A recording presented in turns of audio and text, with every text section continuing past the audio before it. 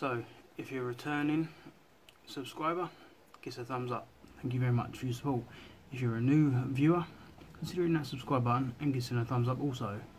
In this video I'm going to show you how to remove and replace the um, thermostat outside and um, we'll crack on.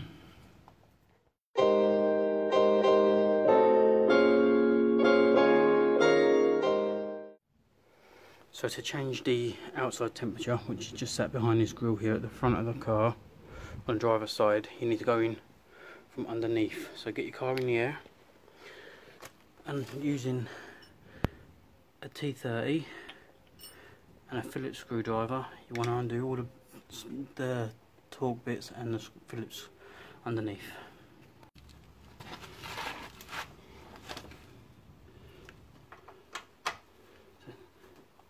These ain't normally done up very tight, so just lower them down.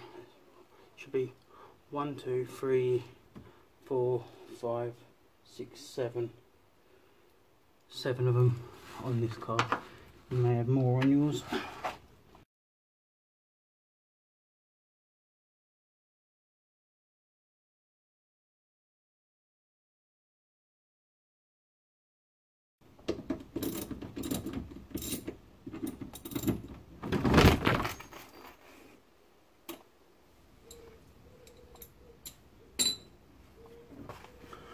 Well, that wasn't meant to happen. it's just fallen out of the way, but that's okay because it gives us access to what we need. I'm going to do the last couple of bolts so it's out of the way and you're not putting any stress on the bumper. And I'll show you all the connections for the outside temperature and how to change it.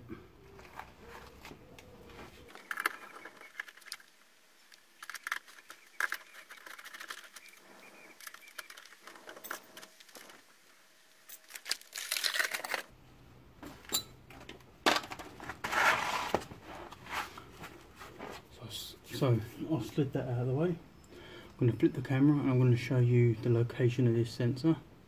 Because it's just up here. But I will turn, around, turn the camera around and show you. There's your sensor. Just push down on it up the top, a little bit closer, and it just pulls outwards. And that's it, it disconnects from up here.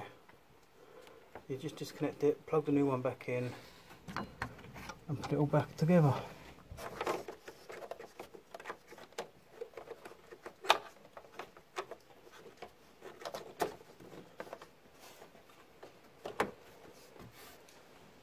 Obviously when I'm when you're holding the camera it's a bit fiddly. But that's it, and you just put the splash guard back up. So I hope you find the video useful and it's just a quick tip one sort of thing.